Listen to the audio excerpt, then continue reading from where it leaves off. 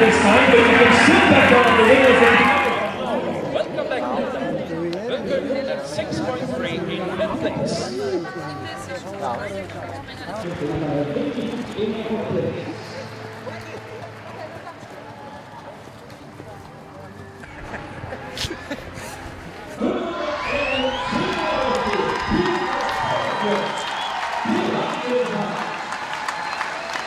Thank you.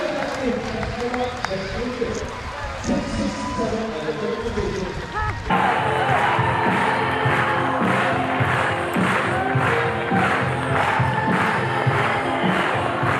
was the and we will go on on the pace track. May we inform you that in exactly five minutes from now, crossing over the pace track will be closed. So if you need to cross from one side to the other, from the shopping area over to this side here or to the uh, other side of the grandstand, please do so now. Guðmunda Ellen, Já. innilega til hamingju. Takk fyrir. Herðu, dagurinn byrjaði ekkert rosalega vel hjá þér. Hann byrjaði eiginlega bara alveg mjög illa. Já. En prógram gekk rosalega vel í slægtumdeltinu. Þanga til hann fór út af. Þá var það bara búið. Þá bara komið mun þegar til leiks í úrslitin og Er það ekki? Hvað Já. gerir maður þegar maður lendir í svona? Hérna, hvernig, hvernig er þá tekum maður sér bara smá tíma til að æfna sig. Þetta er náttúrulega mjög sveikjandi. Já, já. Ég ætlaði mér stór hluti í slægtumdeltinu og það er okkar aðalegrein. Já. En svo bara nýr leikur og því er ekkert að vera að hanga við það og lengi að svekja sig á því.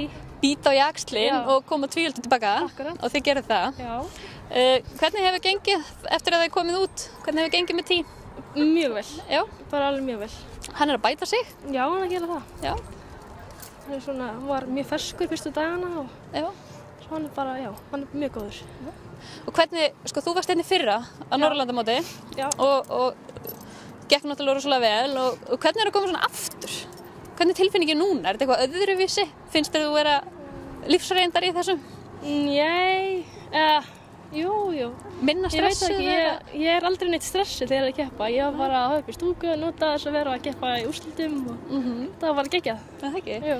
Og þú lítur bara að vera sátt í rauninni með árangum mótsins? Já, en það er geðvægt að komast á pall í aukagreininni. Nákvæmlega og fá silfur? Já, nei, brons. Ég Já, brons, fyrir ekki að, já. Þannig að þú bara ert búinn núna, er það ekki? Jú, því miður. En Og- það er bara þannig. Já, en, en hérna brons. Já, Og hvað ætlar að gera úr þessu? Hvað ætlar að gera það sem eftir lifi dags? bara, ég veit það ekki, horfa á eitthvað ég veit það ekki, fá mér ís eða eitthvað. Pappa og mamma bjóða upp á steik í kvöld Já, og ætli það ekki. hvað ætlar að fá þér að borða það í kvöld? Hvað ertu búin að panta? Já, það er spurning, ef við verum mjög seint sko, þá ætlum við endum ekki bara McDonalds eins og svo ofta áður. Nei!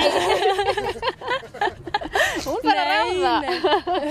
en ef við myndum fá að ráða þá væri það einhver, eitthvað gurmi. Já, eitthvað. Það er gott. Já, mér líst vel á það. Já, Það er einilega til hamingi Guðmunda og, og bara njóta dagsins. takk.